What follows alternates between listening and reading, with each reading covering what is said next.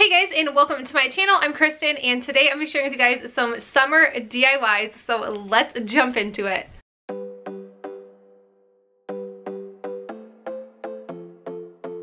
First DIY, I'm gonna be using some hydrangeas. These are from Dollar Tree and I just love the colors of these because they are super fun for summer. And I'm also gonna be using this embroidery hoop. This was a dollar from a garage sale and I thought it'd be really fun to make a giant wreath.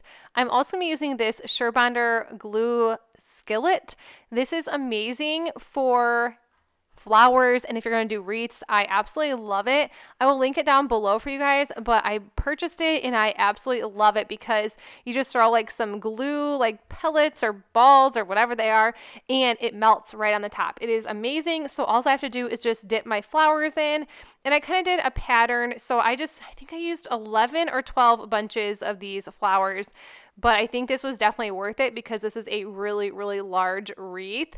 And I just love the way it turned out. This was really time consuming because it did, it, it's big, it took a while, but I'm just loving the way this turned out. And I love the white and like the peach color and this like teal color for this wreath. And I said wreath a lot.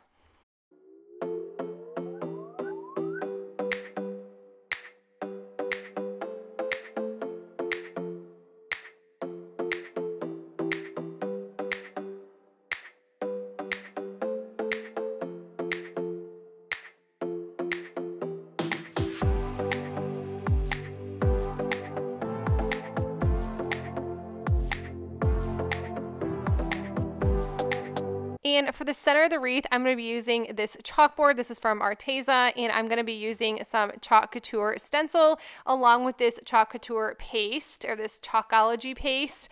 I love using Chalk Couture. I've been using it a lot lately. I am a designer, so I will link all these for you in the description box below if you guys want to check it out. But I just love how they're so easy to use. This is just a really relaxing craft for me, so I really like to incorporate it just a little bit more with my videos lately, just because, like I said, it's fun and these stencils are reusable. They're just sticky on the back. You can wash them and they stay sticky, which is amazing.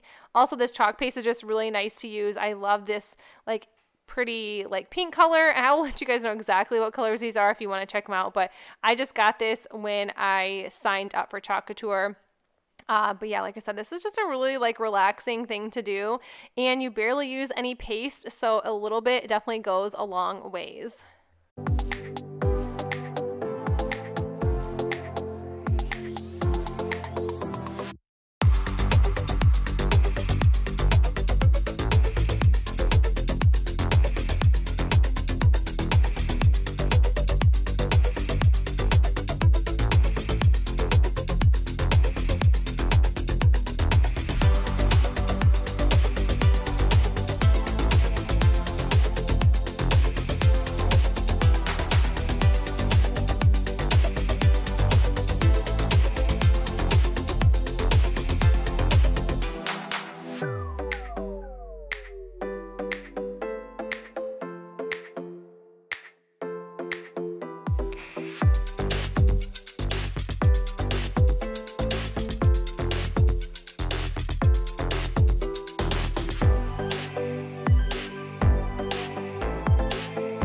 Is what it looks like when it is all done. And I just took the chalkboard, added some twine to the back and just tied it to the wreath. And I am loving these colors and I think this is such a pretty summer wreath.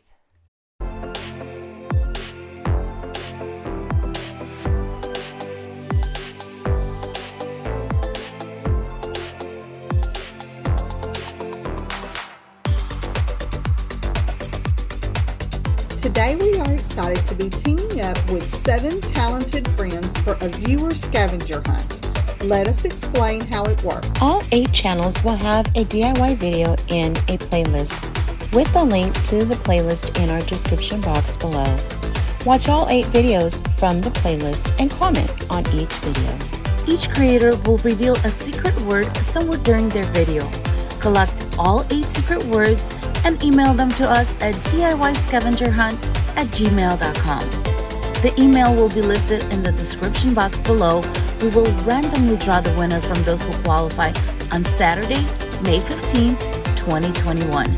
The winner will be announced on our community tabs.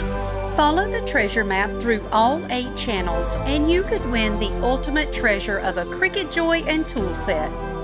We are sorry, but due to shipping issues, the contest is limited to the continental United States. Good luck, y'all!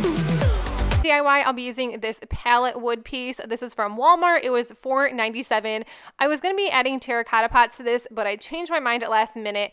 I have this cute sign from Dollar Tree, Weed It and Reap, and then these four wooden boxes from Dollar Tree as well. And I'm just going to be using the Hazelnut Waverly chalk paint, and I'm going to be mixing it with a little bit of water to make a stain. So this is kind of what it looks like with the stain. It does dry a little bit lighter, but I love this color. I haven't ever used this color, so it was kind of exciting to try out some different colors. And I like to make like my own stain in quotes because it just works a lot better. So if you're new to my channel, I just always just dump some paint with a little bit of water. It can be acrylic paint, it can be chalk paint, it doesn't really matter. Acrylic paint kind of is cheaper, so definitely probably use that. But I loved this color and I wanted the whole pallet to be this hazelnut color. Wow. I'm going to repeat words way too often, way too more than I should. Way too much. For these wood boxes, I'm using the Waverly Chalk Paint and Celery. This is one of my favorite colors to use. I also really like using the moss color. It is a lot darker, but these are so pretty, and I just painted all four boxes.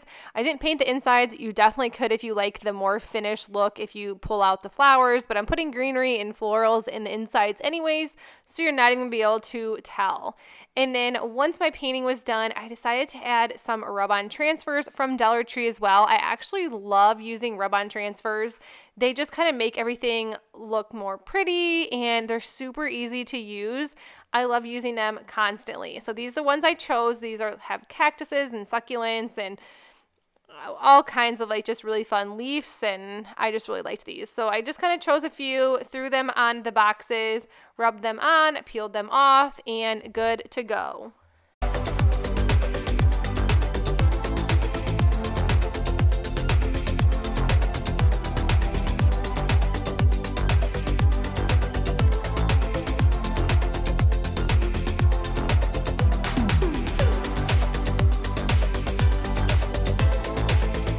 Now I'm just going to be taking some hot glue and gluing the sign right to the top of this pallet piece. And then I will just be gluing the wooden boxes.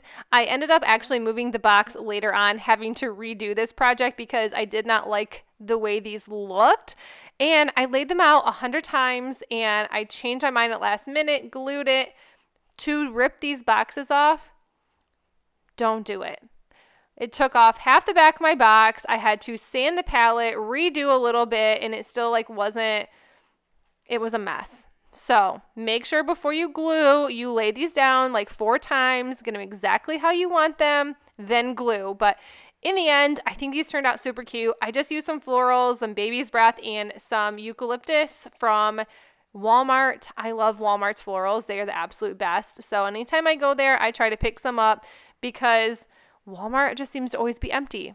I don't know why Walmart's empty with their florals. Obviously, people love them just as much as I do.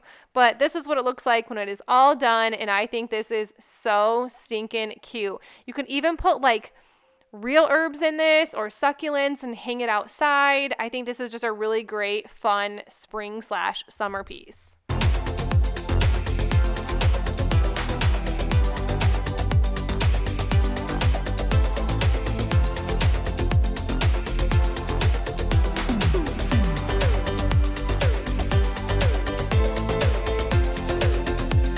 Is going to be super easy. I'm using three terracotta pots. I'm using the Waverly chalk paint in moss and the Waverly chalk paint in white.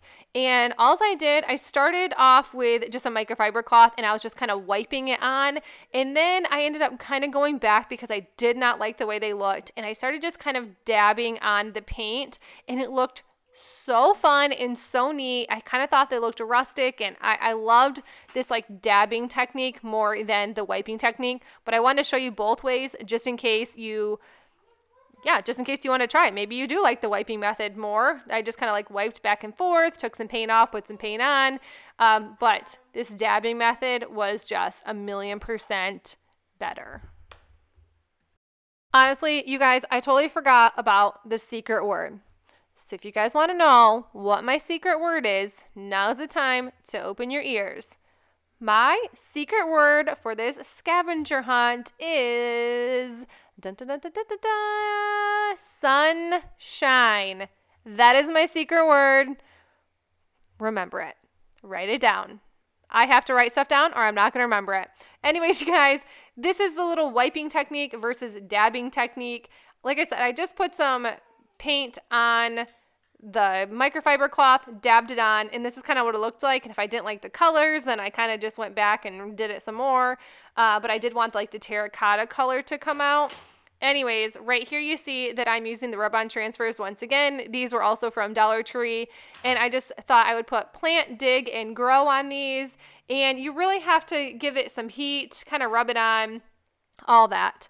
These are the hydrangeas I had left over, and I just used some of this like greenery pieces from Dollar Tree as well, shoved it in because it just kind of looked weird and plain, just adding flowers to these pots, but I love the extra greenery. I think this looks pretty. I think these are cute. Super, super easy DIY. If you want to spray these down with some polyacrylic, polyurethane, you could leave these outside, put some real plants in them. I actually probably will eventually do that. It's just not warm enough where I live to add real florals outside just yet, but I love the way these pots turned out.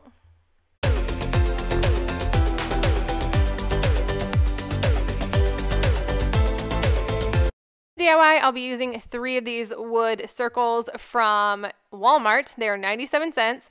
And okay, you already see that I have paint on my piece of beautiful cardboard, my beautiful, beautiful background this is what I use to do the terracotta pots, and I honestly did not want to waste chalk paint because if you guys buy the Waverly chalk paint, you know it's pretty pricey. So this is just the moss and the white chalk paint, and I kind of just mixed it together and then dabbed it on in spots to kind of make it look the way I did. I didn't really have a, a rhyme or reason to this. Some of them looked lighter, so I just kind of dabbed it in the moss colored paint, and yeah, that's kind of how I made it these little cactus stickers. These came from Dollar Tree, and I'm just going to be painting all of them black.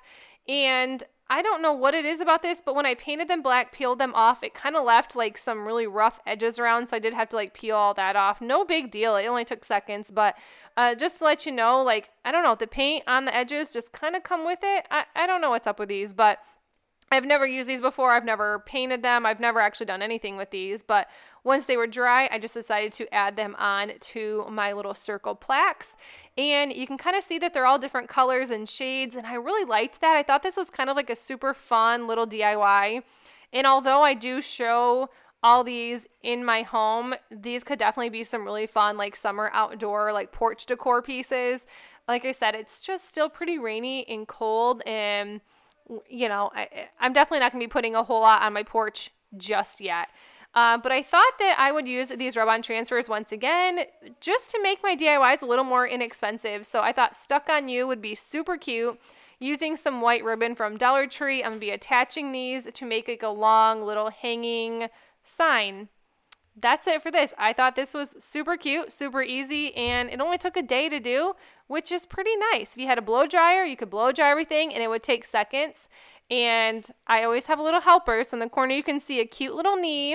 It is my four year old daughter. She always likes to hang out with me and help me out whenever she can.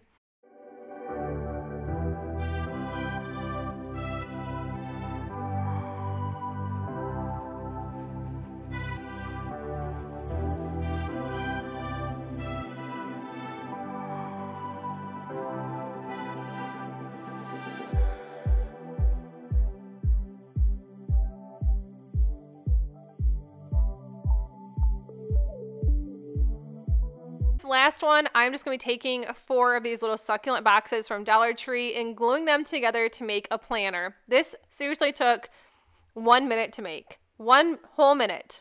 That's it. It was really easy. I love making little planners or like just, I like greener on my home anyways. So I think this was just a really fun DIY to do. And you can have your kids help you do this if you have kids. Or if you just want to do a quick little craft, this is definitely it. That's all I did. Glue four of these together, threw in some boxwood greenery from Walmart, and there you have it, a super quick DIY. You want to take those stickers off? Totally can. I chose not to because you're not going to be able to see them. That's how I do crafts around here. But you guys, that's it for my video. I hope you enjoyed my fun summer DIYs. This will probably be my only summer video of the year, besides my outdoor decorating videos, which I absolutely love. Cannot wait for the weather to get warm around here. Um, but yes, that's it for the video. I hope you enjoyed it and I hope you decide to enter the scavenger hunt giveaway to win a Cricut Joy. Seriously, a Cricut Joy. I don't even have one of those and I would love to have one. But that's it. If you like this video, give this video a thumbs up. If you are new to my channel, make sure you subscribe down below, and I will see you guys in the next one. Bye!